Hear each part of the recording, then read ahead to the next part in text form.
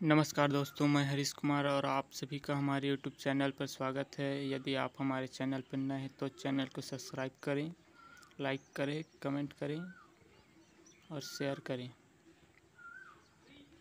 आज मैं आपको कुर्सी की फुल डिटेल बताने वाला हूँ। ये देखिए, दो कुर्सियाँ हैं। सूर्य कंपनी की एक लोकल में आती है और एक ओरिजिनल में आती है। ये देख।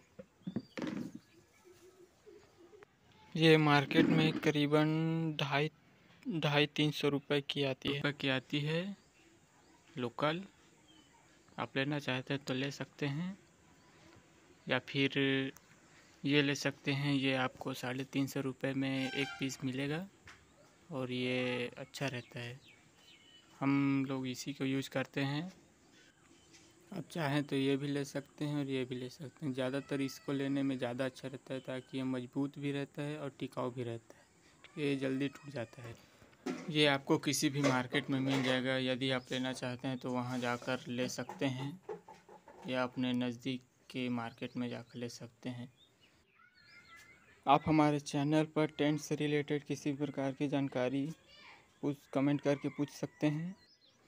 ओके गुड बाय दोस्तों। तो मिलते हैं अगले वीडियो पर। वीडियो देखने के लिए धन्यवाद।